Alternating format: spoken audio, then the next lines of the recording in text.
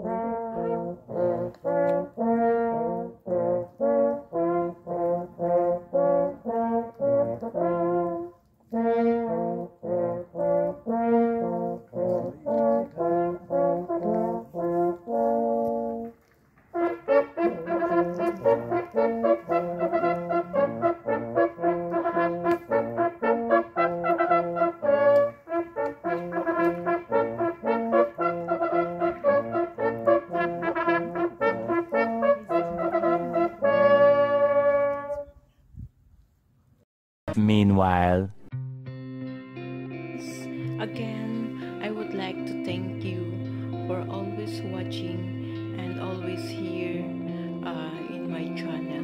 This is Lhiza Vlog Switzerland saying uh, thank you very much and stay where you are and always happy. Bye guys.